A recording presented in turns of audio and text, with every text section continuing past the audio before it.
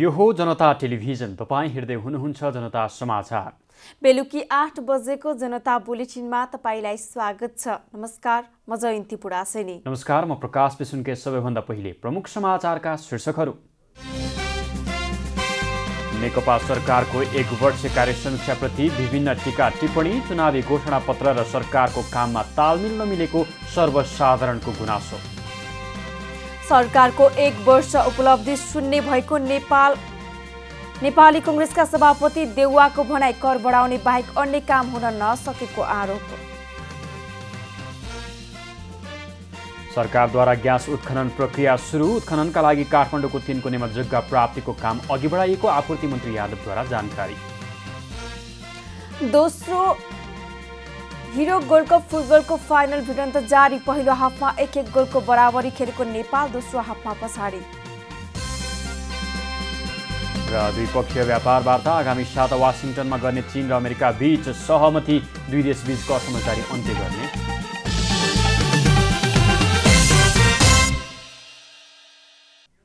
हामी जनता समाचारमा छौँ। अब पुरा समाचार। नेकपा नेतृत्वको सरकार गठन भएको एक वर्ष पुरा भएको छ। दुई तिहाईभन्दा बढी मतसहित गठन भएको सरकारप्रति आम जनताले धेरै अपेक्षा गरेका थिए। तर स्रोत साधन जुटाउन र नीति निर्माणमै अल्मलिएको सरकारको काम गराई र जनअपेक्षामा तालमेल भने देखिएन।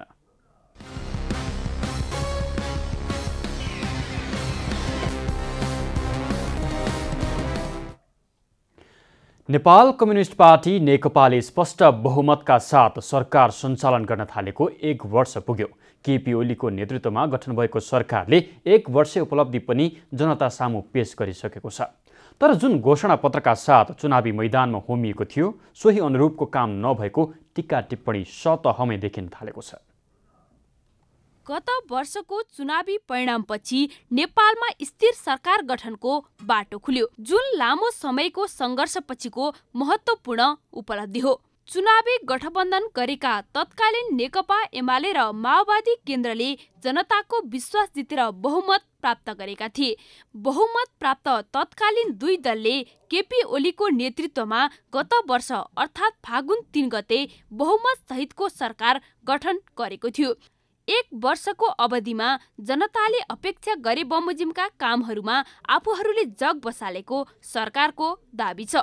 अल्पकालीन प्रतिफल दिने कार्यमा मात्र केन्द्रित नभएर सामाजिक आर्थिक रूपान्तरण तथा दीर्घकालीन विकास योजना सञ्चालन गर्न बलियो आधार तयार भएको छ। यस्तो परिस्थिति सिर्जना हुँदा खिन्न हुनुभन्दा उत्साहित हुनुपर्ने होइन र?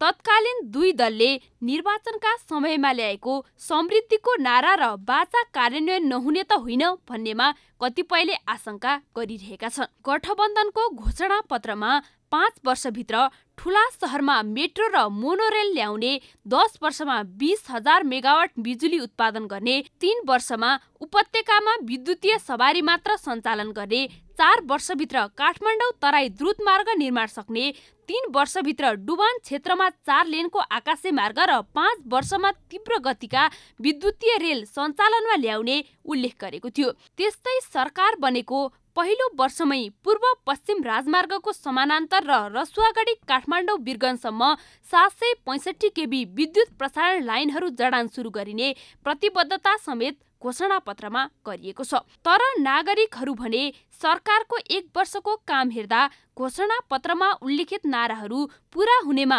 आशंका व्यक्त गर्छन्। सब आफ्नै दुनो सुन्ज्याउन लागेका छन्। जोसुकै दल हुन् जोसुकै पार्टी हुन्। मैले यसरी बोल्दा पनि बोल्न पाएकोमा मात्र खुसी लागेको छ र केही चेन्ज हुने अवस्था पनि छैन। यिनीहरूले खासै के गर्लान् जस्तो मलाई लागेको छैन। बहुमतमा आएको सरकारले गर्नुपर्ने ठाउँ धेरैहरू छ। आफ्नै घोषणापत्र आफ्नै म्यान्डेट हेरेर पनि काम गर्दा हुन्थ्यो नि त्यो पनि गरेको पाइँदैन। घोषणा पत्रमा तीव्र आर्थिक विकास र सामाजिक न्याय सहितको उच्च स्तरको समृद्धि हासिल गर्ने मूल कार्यनीति बनाएर सरकार गठन गरेको नेकपाले सोचे जस्तै समृद्धि हासिल गर्ला त भन्ने कतिपयको तर्क छ। जनता टेलिभिजनका लागि कान्ति नेौपाने काठमाडौँ। प्रधानमन्त्री केपी ओली नेतृत्वको सरकार गठन भएको एक वर्ष पुरा भएको छ। एक वर्ष कार्यकालको प्रधानमन्त्री ओलीले बिहिबार आफ्नो कामको फेहरिस्त समेत पेश गर्नुभयो। तर प्रमुख प्रतिपक्षी दल नेपाली कङ्ग्रेसले भने सरकार अझै कुहिरोको काग भएको टिप्पणी गरेको छ। नेकपा नेतृत्वको दुई तिहाई बहुमत प्राप्त सरकार गठन भएको एक वर्ष पूरा भएको छ। शानदार बहुमत सहित वामपन्थी सरकार गठन भएपछि विगतमा सत्ताको छायाबाट नटारिएको कंग्रेस लामो समयका लागि प्रतिपक्ष बन्न पुगेको छ। वामपन्थीहरू दुई तिहाई मत सहित सत्तामा पुग्दा कंग्रेसले कमजोर प्रतिपक्षको भूमिकामा एक वर्ष निर्वाह गरेको छ। सत्ता बाहिर बसेरै पनि सरकारको काम कारवाहीको खबरदारी गरिरहेको प्रतिपक्षले सरकारको एक वर्षे काम कारवाहीलाई प्रतिपक्षको आँखाबाट हेर्न सकेको छैन। कंग्रेसले सरकार एक वर्षसम्म कुहिरोभित्र हराइरहेको काग जस्तै भनेर सरकारको टिप्पणी गरेको छ। यो सरकार चाहिँ विश्वास हराएको प्रेमी जस्तो ममता गुमाएकी आमा जस्तो घर टुटेको प्रेमी जस्तो र घर छुटेको बटुवा जस्तो भएर एक वर्षमा कुहिरोको काग भएर हराएको अवस्थामा छ। त्यसकारण सरकारले एक वर्ष गुजार्दै गर्दा मैले शुभकामना दिनु छ कम्तीमा यो सरकारले अबको वर्ष चाहिँ कुहिरोको काग जस्तो नभएर बाटो भेटोस्। सरकारको एक वर्षीय कार्यकाललाई प्रतिपक्षले जनचाहना र आवश्यकता अनुरूप काम गर्न नसकी गतिहीनताको अवस्थामा रुमलिएको भन्दै कर्मकाण्डी कार्यकालको रूपमा विश्लेषण गरेको छ। सरकारले सर्वसाधारणको तीव्र अपेक्षा र आफ्नै घोषणा सम्बोधन गर्न नसकेको शक्ति आफू केन्द्रित गरेको लगायत कंग्रेसले आरोप लगाएको छ। पछिल्ला काम कारवाहीले पटक पटक सरकार आलोचित हुनु परेको कंग्रेसको भनाइ छ। अब सरकारको काम कारवाही चाहिँ त्यस्तो उपलब्धिमूलक भन्दा भने यो सरकार छ भने कर्मकाण्डी टाइपको मात्रै देखिएको अवस्था छ। यो पनि ठिक हो कि त्यो पनि ठिक हो कि? यो पनि राम्रो हो कि त्यो पनि राम्रो हो कि भनेर चाहिँ एउटा गतिहीनताको अवस्थामा चाहिँ सरकार अहिले देखिन्छ तपाईँ। र यसले गर्दा के छ भने यसले पार्टीभित्रै पनि आन्तरिक रूपमा अहिले विरोध खेपिराख्नु परेको छ। विशेष गरी यो सर्वहाराको सरकार हुँ भन्ने बाटोमा आएको त्यो वर्गको नेतृत्व गर्छु भनेर आएको सरकार त्यही वर्गका माथि चाहिँ झन्झन चाहिँ लाठी प्रहार गरेको अवस्थामा अहिले छ। सरकारले भने एक वर्षको अवधिमा भौतिक पूर्वाधार ऊर्जा जलस्रोत पर्यटन भूकम्पपछिको पुनर्निर्माण र परराष्ट्र नीतिमा उल्लेखनीय प्रगति गरेको दावी गरेको छ। क्यामेरामा स्वयम्भुराज डङ्गोलका साथमा सरस्वती तामाङ। दुई हजार बहत्तर साल वैशाखमा आएको भूकम्पका कारण देशभर मानवीय र भौतिक क्षति भयो। भूकम्पपछि गठन भएको राष्ट्रिय पुनर्निर्माण प्राधिकरण पनि राजनीतिको कोपभाजनमा पर्यो। पछिल्लो एक वर्षमा के के काम गर्यो त पुनर्निर्माण प्राधिकरणले? दुई हजार बहत्तर वैशाख बाह्रको महाविनाशकारी भूकम्प र त्यसपछि लगातार आएका पराकम्पका कारण काठमाडौँ लगायत मुलुकभर ठूलो परिमाणमा जनधनको क्षति भयो। विश्व सम्पदा सूचीमा सूचीकृत काठमाडौँको धरहरा हनुमान ढोका काष्ठमण्डप र रानी पोखरी लगायतका संरचना ध्वस्त भए। भूकम्पपछि गठन भएको राष्ट्रिय पुनर्निर्माण प्राधिकरण गठन भए पनि राजनीतिक अस्थिरताका कारण प्राधिकरणको नेतृत्व स्थिर नहुँदा पुनर्निर्माणको काम प्रभावकारी बन्न सकेन। पछिल्लो समय नेकपा नेतृत्वको सरकार गठन भएपछि पुनर्निर्माण केही हदसम्म सहज रूपमा सुचारू भयो जसका कारण एक वर्षको अवधिमा महानगरपालिका क्षेत्रमा धरोहर र मठ मन्दिरको पुनर्निर्माण कार्य दस प्रतिशत भएको छ। पचास प्रतिशत पुनर्निर्माण कार्य सम्पन्न हुने चरणमा पुगेको महानगरको दावी छ।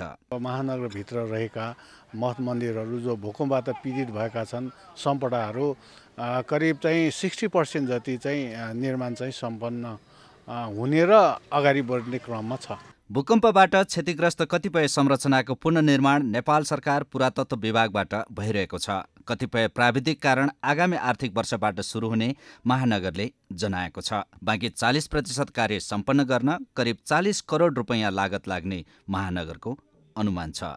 आएको अधिकार क्षेत्रभित्र पर्ने सम्पदाहरू अब कोही त पुरातत्वभित्र पनि पर्छन् होइन? अब पुरातत्वले पनि सिफारिस गरेका पुरा महानगरभित्र परेका यी चाहिँ योजनाहरू अब साठी पर्सेन्ट चाहिँ हाम्रो कम्प्लिट भयो होइन? अब यो चाहिँ अगाडि बढ्यो क्रममा छ। निर् कोही चाहिँ निर्माण सुरु भयो कोही चाहिँ अब कम्प्लिट हुने क्रममा छ। यो सुरु भइसकेको छ। जो चालिस पर्सेन्ट छ चाहिँ आगामी चाहिँ हामी आर्थिक वर्षभित्र चाहिँ हामी कम्प्लिट गर्छौँ।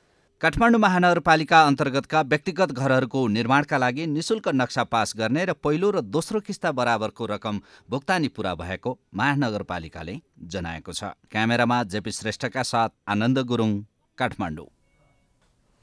महिला मैत्री भनिएको नेपाल कम्युनिस्ट पार्टीको सरकार गठन भएसँगै महिला सत्तात्मक हुने अपेक्षा गरिएको थियो।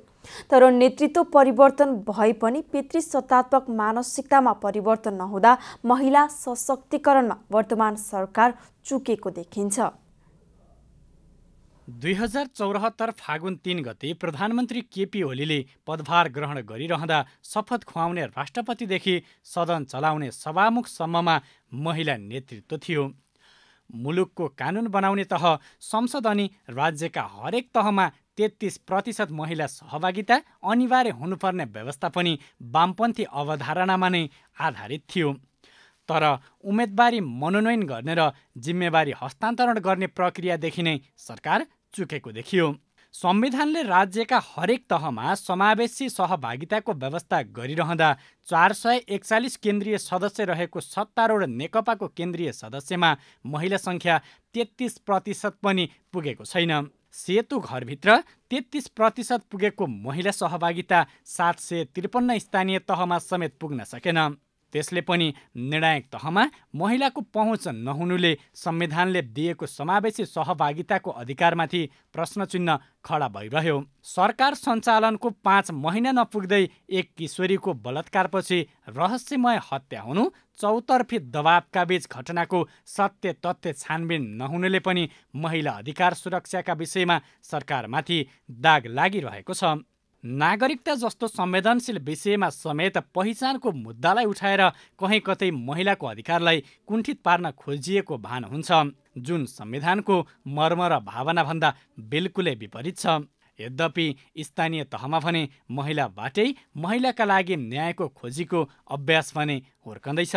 वयस्क रूप लिन संविधान मात्रै परिवर्तन भएर पुग्दैन वर्षौँदेखि ज्वरो गाडेर रहेको पितृसत्तात्मक सोचमा परिवर्तन हुन जरुरी रहेको सामाजिक अभियन्ताहरूको ठहर छ। एक नम्बर प्रदेश सरकार गठन भएको वर्ष दिन पुगेको छ। सरकार गठनको एक वर्षमा उल्लेख्य उपलब्धि हासिल गर्न नसके पनि जग निर्माण गर्न आफूहरू सक्षम रहेको प्रदेश सरकारको दावी छ। गत वर्षको फागुन दुई गते एक नम्बर प्रदेश सरकार गठन भयो। त्यस यता प्रदेश सरकारले दुई दर्जन कानुन निर्माण गर्नुका साथै विभिन्न विकास निर्माणका कामको सुरुवात गरेको छ। अभावै अभावका बीचमा गठन भएको प्रदेश सरकारले छ महिना कार्यालय स्थापना गर्दा समय व्यतीत गरेको र अन्य समयमा कानुन निर्माण र विकास निर्माणको जग निर्माणमा अल्मलिनु परेको जनाएको छ। प्रदेश सरकारले भने जस्तो काम गर्न नसक्नुमा सङ्घबाट अधिकार हस्तान्तरण नहुनु र कानुन निर्माणमा सङ्घीय सरकारबाट सहयोग नहुनु पनि मुख्य रहेको प्रदेश सरकारको बुझाइ छ। प्रदेश तहको संरचना बिल्कुल पहिलो र नौलो थियो हाम्रा लागि। प्रदेश तहको संरचना अनुभव अभ्यास र प्रयोग हामीसँग केही पनि थिएन। यसरी प्रदेश संरचना खडा भयो तर प्रदेश संरचनाको हकमा न उभिने आधार थियो न हिँड्ने बाटो न बस्ने ठाउँ नै थियो। सुन्ने बाटो गुन्द्री र पिरामा बसेर काम थाल्नु परेको यथार्थ कुरा मैले लगातार भन्दै आएको छु। उद्योग पर्यटन ऊर्जा लगायतका क्षेत्रमा निजी क्षेत्रसँग सहकार्यको बाटो खुलेको र लगानीकर्ताका हिसाबले पनि एक नम्बर प्रदेश अनुकूल हो भन्ने सन्देश दिन सफल भएको प्रदेश सरकारले जनाएको छ। एक नम्बर प्रदेश सभाका सभामुख प्रदीप भण्डारीले सङ्घीय सरकारले फागुनसम्ममा कानुन निर्माण पुरा गर्न सके सबै कुराको हल हुने बताउनुभयो। अहिले सङ्घीय सरकारले कानुन नबनाउँदा प्रदेशलाई र प्रदेश सरकारले कानुन नबनाउँदा स्थानीय सरकारलाई अप्ठ्यारो परेको प्रदेश सभाको ठम्मै छ। सरकारले आफूलाई आवश्यक पर्ने कानुनहरू निर्माण गर्नको निमित्त विधेयकको रूपमा तेइसवटा विधेयकहरू हामीले अघिल्लो अधिवेशनसम्म यो योसम्म पा र नियावलीसहित चौबिसवटा पास गरिसकेका छौँ। सरकारले प्राथमिकताको आधारमा कार्य गर्नको निमित्त विधेयकहरूलाई कानुनमा परिणत गर्नका निम्ति सदनमा दर्ता गरे अनुसार ती विधेयकहरू कानुनमा प्रमाणीकरण भइकन लागि गइसकेका छन्।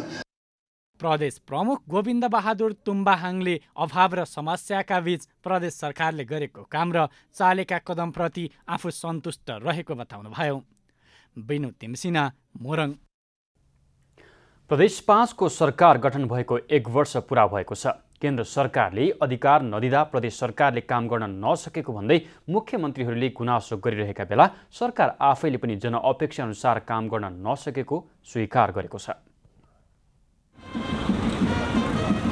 प्रदेश नम्बर पाँचका मुख्यमन्त्री शङ्कर पोखरेलले नेपाल बनेन भनेर चिन्ता नगर्न आग्रह गर्नुभएको छ। प्रदेश नम्बर पाँचको स्थापना दिवसको अवसरमा मुख्यमन्त्री पोखरेलले कानून र स्पष्ट कार्यदिशा नभए पनि सरकारले केही गर्न नसकेको भन्ने प्रतिपक्षको आरोपको भने खण्डन गर्नु भएको छ। भौतिक स्रोत साधनको अभावमा पनि आफूहरू सफलता उन्मुख रहेको प्रदेश सरकारको दावी छ। संहिताको प्रमुख आधारमा प्रदेश सरकार अगाडि बढेको उल्लेख गर्दै मुख्यमन्त्री पोखरेलले यो वर्ष संहिताको फाउन्डेसन वर्ष भएको बताउनुभयो। जनताको जीवन स्तरसँग शान्ति र समृद्धि जोड्ने गरी प्रदेश सरकारले आफ्ना गतिविधि बढाएको मुख्यमन्त्री पोखरेलको दावी छ।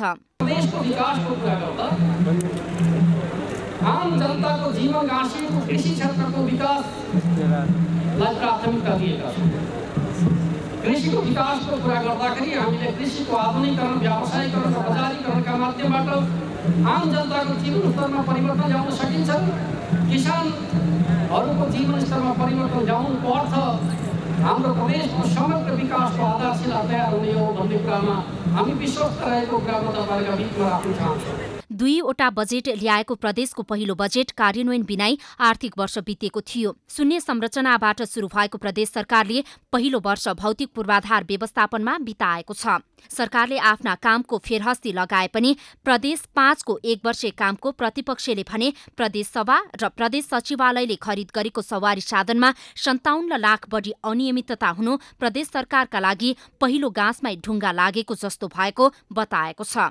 सरकार अपेक्षाकृत ढङ्गले गतिशील हुन सकेन। जनताले चाहेका विषयवस्तुहरू जनताका समस्याहरूमाथि सरकार केन्द्रित हुन सकेन भन्ने आम जनताको गुनासो छ। मलाई पनि त्यही लाग्छ। यता मुख्यमन्त्री पोखरेलले भने हिमाल पहाड र तराईसँग जोडिएको प्रदेश पाँच मिनी नेपालको रूपमा रहेको दावी गर्नुभयो। लुम्बिनीलाई आम जनताको जीवनसँग जोडेर विकासका लागि प्रदेश सरकार जिम्मेवारका साथ अगाडि बढेको मुख्यमन्त्री पोखरेलको भनाइ छ। विकास पराजुली रूपन्देही। नेपाली कङ्ग्रेसका सभापति शेरबहादुर देउवाले सरकारको एक वर्षको उपलब्धि शून्य भएको बताउनु भएको छ। नेपाली कङ्ग्रेस भक्तपुरले आयोजना गरेको विरोध सभालाई सम्बोधन गर्दै सभापति देउवाले वर्तमान सरकारले एक वर्षमा जनतालाई करको भार थोपर्ने कार्यबाहेक जनताको पक्षमा कुनै कार्य गर्न नसकेको आरोप लगाउनुभयो। पूर्व प्रधानमन्त्री समेत रहनुभएका सभापति देउवाले अहिलेको सरकारले अप्रजातान्त्रिक गतिविधिहरू गरिरहेको आरोप लगाउनुभयो। आफ्नै पार्टीको वर्चस्व काम गर्ने गर्ने मात्रै होइन र भ्रष्टाचारको विरोध गर्ने तर आफ्ना साथीहरूले छुट्टी छुट्टी पनि एउटा बचाउनु खोज्ने काम गरेको छु सरकारले त्यसै कारण सरकारका भनेपछि जताततै यो चाहिँ देशमा न अमान चाहिन्छ न भ्रष्टाचार रोकिएको छ न चाहिँ कर घटेको कर कर बढाएको छ सभापति देउवाले ओली नेतृत्वको सरकारमा हत्या हिंसा बलात्कारका घटना बढेको उल्लेख गर्दै बलात्कारीलाई बचाउने काम सरकारबाटै भइरहेको उल्लेख गर्नुभयो। यसले गर्दा अपराधीलाई हौसला मिलेको देउवाको तर्क छ। विरोध सभामा नेपाली कङ्ग्रेसका नेता कृष्णप्रसाद सिटौलाले कम्युनिस्ट नेतृत्वको सरकारले संविधानको मर्म र भावना विपरीत निरङ्कुश ढङ्गबाट कार्य गरेको आरोप समेत लगाउनुभयो। कार्यक्रममा नेता प्रकाशमान सिंहले अहिलेको सरकारले सकारात्मक काम गर्ने गरी मूल्याङ्कन गर्न न गर्न मिल्ने कुनै काम नगरेको आरोप लगाउनुभयो। जनता समाचारमा हामीले केपी ओली नेतृत्वको सरकार गठन भएको एक वर्ष पुगेको सन्दर्भमा सरकारको समीक्षा र प्रतिपक्षीले एक वर्ष पुगेको सन्दर्भमा राखेका धारणाबारे आज हामीले विशेष प्रस्तुति रिपोर्टसहित प्रस्तुत गऱ्यौँ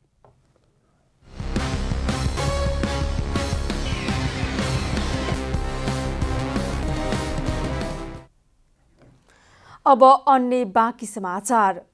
सङ्घीय संसदको प्रतिनिधि सभाले कर्मचारी समायोजन विधेयक दुई हजार पचहत्तर पारित गरेको छ। प्रतिनिधि सभाको आज बसेको बैठकमा सङ्घीय मामिला तथा सामान्य प्रशासन मन्त्री लालबाबु पण्डितले पारित गरियोस् भनी पेश गर्नुभएको विधेयक बहुमतले पारित गरिएको हो। विधेयकमा प्रदेश र स्थानीय तहमा गएका निजामती कर्मचारीहरूको सङ्घमा सरुवा हुन नपाउने व्यवस्था गरिएको छ। बैठकमा सांसदहरूले उठाएको प्रश्नको जवाफ दिँदै मन्त्री पण्डितले विधेयक राज्य व्यवस्था तथा सुशासन समितिमा व्यापक छलफल भई सर्वसम्मतिले पारित भएकाले यसमा कुनै समस्या नरहेको दावी गर्नुभएको थियो। मन्त्री पण्डितले विधेयकले कर्मचारीहरूको वृत्ति विकासमा कुनै समस्या नपार्ने पनि बताउनुभयो। विधेयकमाथिको छलफलमा भाग लिँदै प्रेम सुवाल सरिता गिरी लगायतका सांसदहरूले स्थानीय तहको स्वीकृति बिना नै विधेयक तयार गरेको भन्दै फिर्ता लिन माग गरेका थिए। नेपाल कम्युनिस्ट पार्टी नेकपाका अध्यक्ष पुष्पकमल दाहालले अहिले पनि मुलुकमा विद्यमान समस्याहरूको समाधान नगरे कहिले गर्ने भनी प्रश्न गर्नुभएको छ। अध्यक्ष दाहालले कम्युनिस्ट नेतृत्वको दुई तिहाईको सरकारका लागि जनताको आधारभूत समस्या समाधान गर्ने ऐतिहासिक अवसर आएको उल्लेख गर्दै अहिले पनि नगरे कहिले गर्ने भनी गम्भीर प्रश्न उठाउनु भएको हो। आज काठमाडौँमा आयोजित कार्यक्रमलाई सम्बोधन गर्दै अध्यक्ष दाहालले लामो सङ्घर्ष बलिदान र मेहनतपछि प्राप्त अवसर सदुपयोग गरेर शिक्षा क्षेत्रमा देखिएको समस्या समाधान गर्न ढिलाइ गर्न नहुने पनि स्पष्ट पार्नुभयो। पनि हामी सहयोग गर्न तयार छौँ समृद्धिको निम्ति विकासको निम्ति समस्या समाधान गर्नको निम्ति भनेको यो समय भनेको एउटा ऐतिहासिक समय हो। यो अवसर भनेको नेपालले धेरै लामो सङ्घर्ष बलिदान र मेहनतपछि प्राप्त गरेको अवसर हो। अध्यक्ष दाहालले विकसित मुलुकहरूले समेत पहिलो प्राथमिकतामा राखेको शिक्षा क्षेत्रको समस्या समाधानको कामलाई उच्च प्राथमिकताका साथ अगाडि बढाउनु पर्ने आवश्यकता पनि औल्याउनुभयो। अध्यक्ष दाहालले संविधानले शिक्षा स्वास्थ्य र रोजगारीको हकलाई मौलिक हकको रूपमा व्यवस्था गरेको उल्लेख गर्दै त्यसको कार्यान्वयनका काममा गम्भीर बन्न पनि सरकारलाई सुझाव दिनुभयो। सरकारले काठमाडौँको तिनकुनेमा ग्यास उत्खनन गर्ने प्रक्रिया सुरु गरेको छ। उद्योग वाणिज्य तथा आपूर्ति मन्त्री मातृका प्रसाद यादवले सो ठाउँमा ग्यास उत्खननका लागि प्रक्रिया अघि बढाउन जिल्ला प्रशासन कार्यालय काठमाडौँबाट जग्गा प्राप्तिको कामलाई अघि बढाएको जानकारी दिनुभएको हो। आज राष्ट्रिय सभाको बैठकमा मन्त्री यादवले काठमाडौँ उपत्यकाका खानी तथा भूगर्भ विभाग र जाइकाको सहयोगमा विभिन्न चौध स्थानमा सम्भाव्यता अध्ययन गरेपछि तिनकुनेबाट भने उत्खनन कार्यलाई अघि बढाउन लागि। राखिएको बताउनुभयो। मन्त्री यादवले नवलपरासीको धावोदी क्षेत्रमा फलामखानी रहेको पुष्टि भएको उल्लेख गर्दै सो फलामखानी उत्खननको काम पनि सुरु गर्ने योजना अघि सार्नुभयो। सो क्षेत्रबाट पठाइएको नमुना चीन सरकारले परीक्षण गरेपछि त्यहाँ फलामखानी रहेको पुष्टि भएको मन्त्री यादवले जानकारी दिनुभयो। त्यसको विस्तृत विवरण चीनबाट आउन साथ सो क्षेत्रमा फलामखानी सञ्चालनमा ल्याउने सरकारको योजना छ। सरकारले दिगो विकास लक्ष्य हासिलका लागि अन्तर्राष्ट्रिय समुदायबाट आवश्यक बजेट जुटाउने योजना बनाएको छ। राष्ट्रिय योजना आयोगका उपाध्यक्ष डाक्टर पुष्पराज कणेलले सन् दुई हजार तिसभित्र दिगो विकास लक्ष्य हासिल गर्ने प्रतिबद्धता पूरा गर्न सरकारले अन्तर्राष्ट्रिय समुदायसँग आवश्यक बजेट जुटाउने योजना बनाएको जानकारी दिनुभएको हो। आज सङ्घीय संसदको दिगो विकास तथा सुशासन समितिको बैठकमा उपाध्यक्ष कणेलले दिगो विकास लक्ष्य हासिल गर्न प्रदेश र स्थानीय तहमा अभियान नै सञ्चालन गर्न लागि पनि बताउनुभयो। कणेलले प्रदेश र स्थानीय तहमा दिगो विकास लक्ष्य हासिल गर्नका लागि सोचकै अभाव रहेको समेत उल्लेख गर्दै ती समस्या समाधान गरेर अघि बढ्ने गरी बजेटसहितको योजना तय गर्ने पनि बताउनुभयो।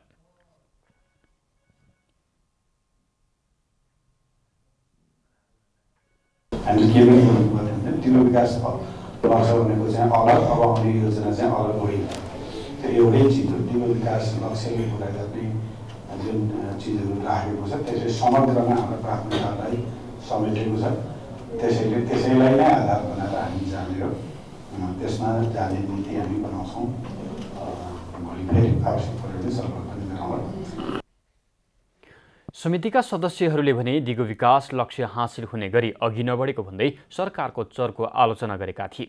समितिकी सदस्य प्रमिला कुमारीले दिगो विकास लक्ष्य हासिल हुने गरी योजना बनाउन नसकेको भन्दै सरकारको आलोचना गर्नुभएको हो। अर्का सदस्य दिननाथ शर्माले दिगो विकास लक्ष्य हासिल हुने गरी सन्तुलित र समान अवसरसहितको विकास योजना अघि बढाउन सरकारसँग माग गर्नुभयो।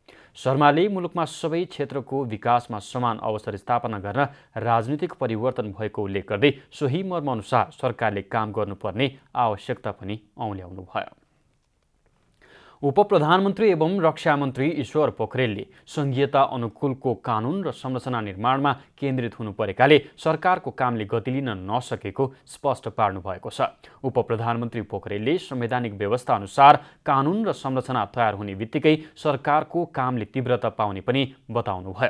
आज काठमाडौँको भ्रिकुटी मण्डपमा आयोजित वृहत कर्णाली प्रदर्शनीको उद्घाटन गर्दै मन्त्री पोखरेलले बिना भेदभाव कर्णाली प्रदेशको विकासमा लागि पर्ने प्रतिबद्धता पनि व्यक्त गर्नुभयो। कार्यक्रममा विकास निर्माणको काममा प्रतिस्पर्धा गरेर अघि बढ्न पनि सबै राजनीतिक दलहरूलाई मन्त्री पोखरेलले आह्वान गर्नुभयो। कर्णाली प्रदेशलाई सुन सिरानी हालेर नुनको खोजी गरिरहेको प्रदेशको रूपमा चित्रण गर्दै मन्त्री पोखरेलले अब कर्णालीको विकासमा सबै राजनीतिक दलहरूले प्रतिस्पर्धा गरेर अघि बढ्नुपर्ने आवश्यकता रहेको पनि औल्याउनुभयो। अहिले कानुन र संरचना निर्माणमा देखिएका केही समस्याहरूले हाम्रो राजनीतिक र संवैधानिक घोषणा जुन हो त्यो घोषणा प्रभावकारी ढङ्गले लागू हुन सकेको छैन। त्यसकारणले यसलाई लागू गर्नको लागि कानुन र संरचना निर्माण गर्ने काममा लाग्नुपर्ने जरुरत छ। हामी त्यस दिशामा केन्द्रित छौँ। यो लागू भइसकेपछि अब हामीहरू वास्तवमा विघ्न बाधा रहित अगाडि बढ्न सक्छौँ। तिन दिनसम्म चल्ने प्रदर्शनीमा कर्णाली अञ्चलका बहुमूल्य जडीबुटीहरू मार्सी धानको चामल लोक्ताको कपडा स्याउ सिमी लगायतका वस्तुहरू राखिएका छन्। नेपाल भ्रमण वर्ष सन् दुई हजार बिसबारे जनचेतना जगाउन दीप प्रज्वलन गरिने भएको छ। नेपाल भ्रमण वर्षलाई प्रचार प्रसार गर्न बौद्ध धर्म सम्बन्धी विभिन्न सङ्घ संस्थाले लुम्बिनीमा यही फागुन सत्र गते दीप प्रज्वलन गर्न लागेका हुन्। दीप प्रज्वलन कार्यक्रमका लागि आज पर्यटन बोर्ड र बौद्ध धर्म सम्बन्धी विभिन्न सङ्घ संस्था बीच सहमति पत्रमा हस्ताक्षर भएको छ। कार्यक्रममा उपराष्ट्रपति नन्दबहादुर पुन संस्कृति पर्यटन मन्त्री रविन्द्र अधिकारी लगायत उच्च सरकारी सरकारी अधिकारीहरू उपस्थित हुने आयोजकले जनाएको छ। अब आर्थिक समाचार।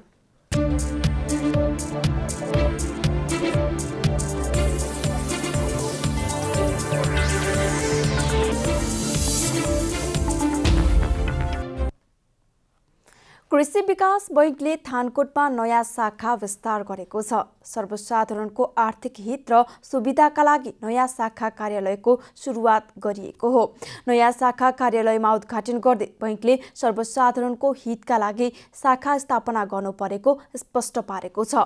दुई हजार चौबिस सालमा स्थापित बैङ्कले दसवटा क्षेत्रीय कार्यालयहरू स्थापना गरिसकेको छ। साथै सर्वसाधारणको सुविधाका लागि थप योजना र कार्यक्रमहरू ल्याउने पनि बैङ्कले जनाएको छ। सटिङ सुटिङको ब्रान्ड रेमन्डले ललितपुरको जावला खेलमा नयाँ सोरुमको सुरुवात गरेको छ। नेपालको आधिकारिक अन्तर्राष्ट्रिय सटिङ सुटिङ ब्रान्ड रेमन्डले कपजाका पारखी को सुविधालाई ध्यानमा राखेर ज्वाउला खेलमा नयाँ सोरुम सुरु गरेको जनाएको छ।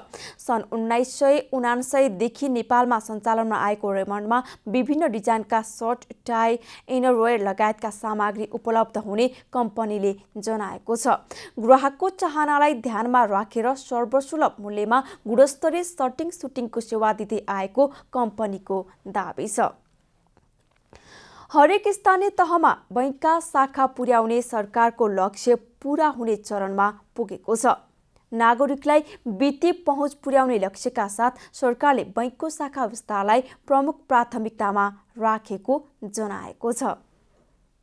नेपाल राष्ट्र बैङ्कले हालै सार्वजनिक गरेको चालु आर्थिक वर्षको पछिल्लो छ महिनाको विवरण अनुसार सात सय त्रिपन्न स्थानीय तहमध्ये सात सय तीन स्थानीय तहमा बैङ्कका शाखा पुगेका छन्। बाँकी रहेको पचास स्थानीय तहमध्ये चालु आर्थिक वर्षको अन्त्यसम्म धेरै जसो स्थानीय तहमा बैङ्कका शाखा पुग्ने राष्ट्र बैङ्कले जनाएको छ। नागरिकलाई वित्तीय पहुँच पुर्याउने लक्ष्यका साथ सरकारले बैङ्कको शाखा विस्तारलाई प्रमुख प्राथमिकतामा राखेको जनाएको छ। केन्द्रीय बैङ्कका अनुसार प्रदेश नम्बर एकका एक सय सडतिस स्थानीय तहमध्ये चालु आर्थिक वर्षको छ महिनासम्ममा एक सय सत्ताइस तहमा बैङ्कका शाखा पुगेका छन्। प्रदेश एकमा अझै दस स्थानीय तहमा बैङ्कका शाखा पुग्न बाँकी रहेका छन्। प्रदेश नम्बर दुईका एक सय छत्तिस स्थानीय तहमध्ये हालसम्म एक सय तेत्तिस स्थानीय तहमा बैङ्कका शाखा खुलेका छन्। प्रदेश दुईका तीनवटा तहमा मात्रै बैङ्कका शाखा पुग्न बाँकी छन्। प्रदेश नम्बर तीनका एक सय उन्नाइस तह मध्ये चालु आर्थिक वर्षको छ महिनामा एक सय तेह्र स्थानीय तहमा बैङ्कका शाखा पुगेका छन्। प्रदेश तीनमा छ स्थानीय तहमा मात्रै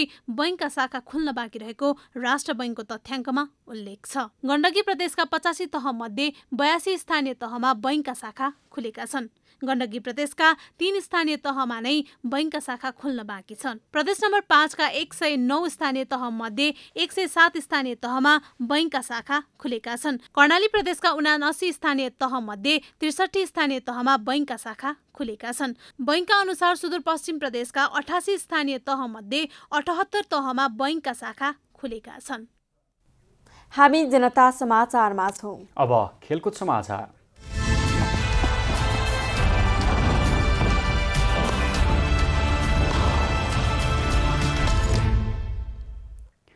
भारतमा केही बेर अघि मात्र सम्पन्न हिरो गोल्ड कप फुटबलको उपाधि म्यानमारले जितेको छ।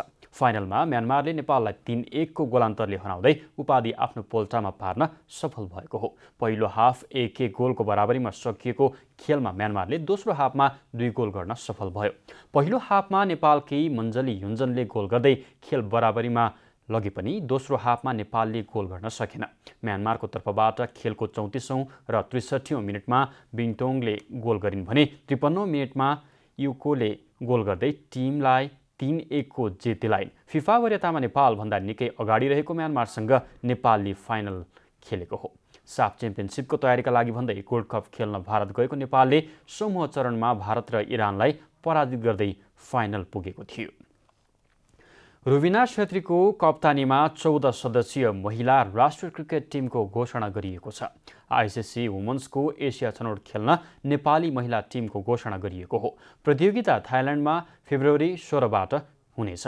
नेपाली टिममा कप्तान छेत्रीसँगै उपकप्तान सीता राणा मगर करुणा भण्डारी सरिता मगर नेरी थापा इन्दु वर्मा सोनु खड्का आरती बिडारी काजल श्रेष्ठ रहेका छन्। त्यस्तै रोमा थापा कविता कुँवर अप्सरा बेगम ममता चौधरी र बिन्दु रावल छन्। मुख्य प्रशिक्षकमा विनोद दास सहायक प्रशिक्षकमा निरा राजोपाध्याय म्यानेजरमा अमृता पौडेल र फिजियोमा सकुना धानी छन्। नेपाली महिला टिम शनिबार दिउँसो प्रतियोगिताका लागि थाइल्यान्ड उड्नेछ।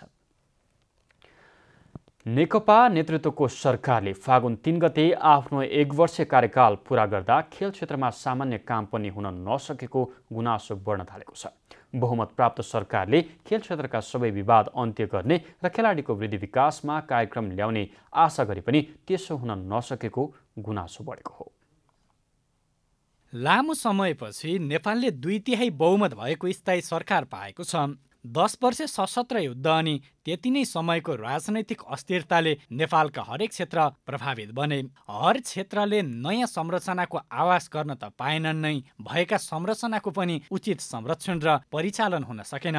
हरेक क्षेत्रको यो समस्या खेलकुदको क्षेत्रले पनि झेल्न बाध्य भयो। सारा राष्ट्रलाई एक ठाउँमा जम्मा पारेर एकताको आभास गराउन सक्ने खेल क्षेत्रको अत्यासलाग्दो स्थितिको अन्त्य स्थायी सरकारको आगमनसँगै होला भनेर सारा खेलप्रेमीको आशा थियो। नेकपा नेतृत्वको सरकारले चुनाव अगाडि खेल क्षेत्रको विकास र प्रबन्धनमा राम्रै योजना पनि सार्वजनिक गर्यो। त्यति मात्र होइन चुनावमा जनताको बहुमत पाएर सरकार गठन हुँदै गर्दा खेलकुद सरकारको प्राथमिकतामा नै देखियो। दुई हजार चौरात्तर साल फागुन तिन गते सरकार गठन भए त नेपालको खेल क्षेत्रले राम्रै फड्को पनि मार्यो तर सरकारको काम भने जस्ताको त्यस्तै सरकार गठन हुँदै गर्दा नेपाली खेल क्षेत्रका माउ संस्था टुट र फुटको स्थितिमा मात्र थिएनन् अन्तर्राष्ट्रिय स्तरमा निलम्बनको अवस्थामा पनि थिए। तर पनि खेलाडीले आफ्नो उत्साहलाई घटाएनन् र निरन्तर नेपाली खेलकुद प्रेमीलाई जुरुक जुरुक उचालिरहे।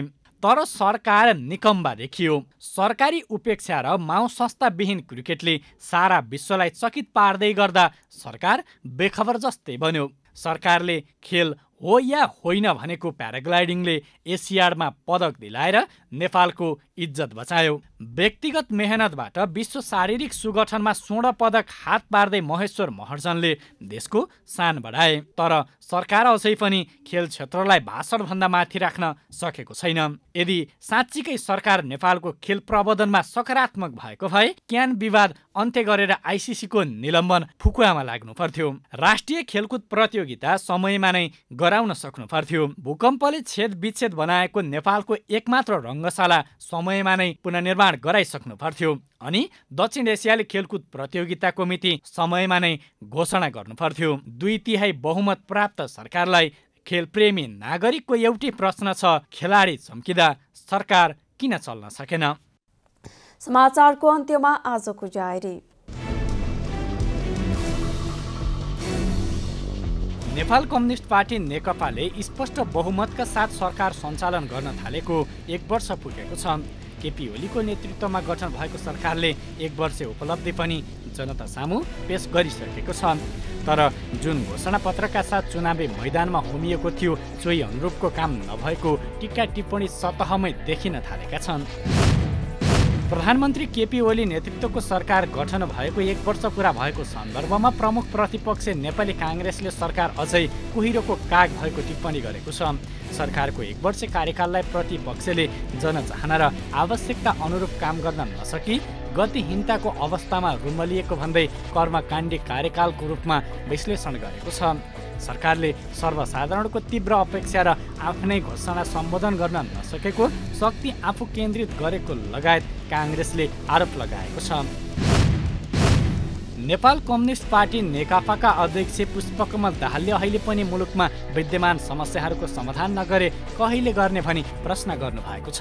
अध्यक्ष दाहालले कम्युनिस्ट नेतृत्वको दुई तिहाईको सरकारका लागि जनताको आधारभूत समस्या समाधान गर्ने ऐतिहासिक अवसर आएको उल्लेख गर्नुभयो। अध्यक्ष दाहालले लामो सङ्घर्ष बलिदान र मेहनतपछि प्राप्त अवसर सदुपयोग गरेर शिक्षा क्षेत्रमा देखिएको समस्या समाधान गर्न ढिलाइ गर्न नहुने तर्क गर्नुभयो। रुबिना छेत्रीको कप्तानीमा चौध सदस्यीय महिला राष्ट्रिय क्रिकेट टिमको घोषणा गरिएको छ। आइसिसी वुमेन्सको एसिया छनौट खेल्न नेपाली महिला टिमको घोषणा गरिएको हो।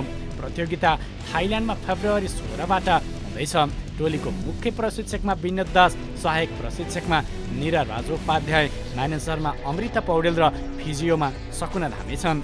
नेपाली महिला टिम शनिबार दिउँसो प्रतियोगिताका लागि थाइल्यान्ड जानेछ। चिनको बेजिङमा भएको चीन अमेरिका व्यापार वार्ता आगामी हप्ता वासिङटनमा बस्ने गरी टुङ्गिएको छ।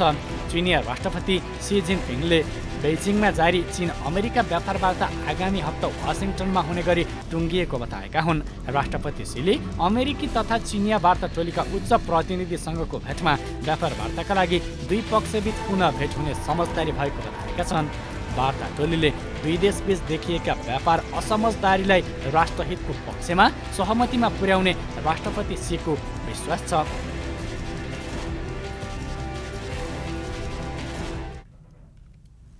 जनता समाचार अहिलेलाई यति नै। तपाईँ जनता टेलिभिजनका कार्यक्रमहरू युट्युब ट्विटर फेसबुक र हाम्रो वेबसाइट जनता समाचार डट कममा पनि पढ्न र हेर्न सक्नुहुनेछ। हामी अविराम अनुकरणीय अभ्यासमा छौँ। तपाईँ जनताद्वारा जनताका लागि प्रसारित जनता टेलिभिजन हेरिरहनुहोस्। नमस्कार।